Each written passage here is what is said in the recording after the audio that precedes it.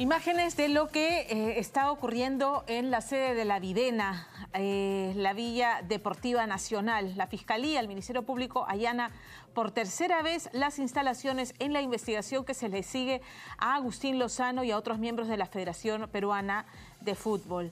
Eh, ya son con esta tres las visitas al complejo deportivo, la primera en marzo, la segunda en mayo y los detalles con nuestra compañera Maggie Mirabal. Maggie, buenas tardes.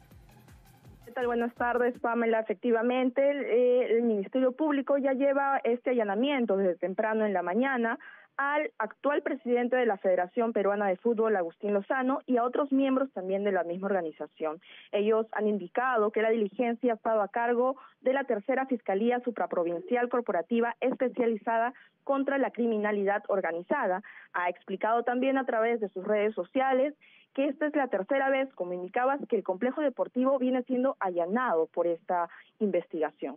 El equipo fiscal viene recabando información sobre los montos dinerarios asignados por parte de la federación a los clubes de la Liga 1 y 2 de fútbol, la agremiación de futbolistas profesionales del Perú y la empresa Perú 1190 Sport, entre otros.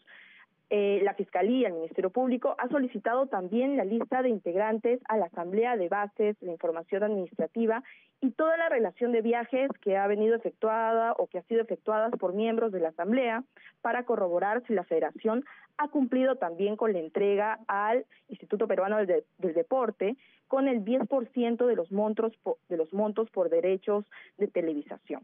Este allanamiento, como mencionas, Pamela, ya es el tercero que se da eh, en este año, ¿no? Primero fue en marzo, luego en mayo, y sigue la investigación que se le hace a Agustín Lozano, ¿no?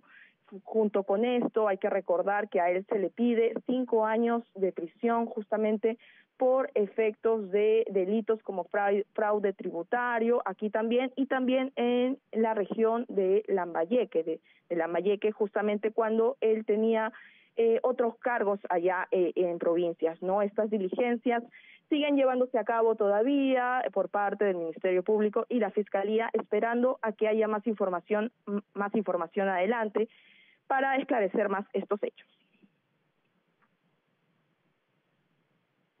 Sobre esto que es una información en desarrollo.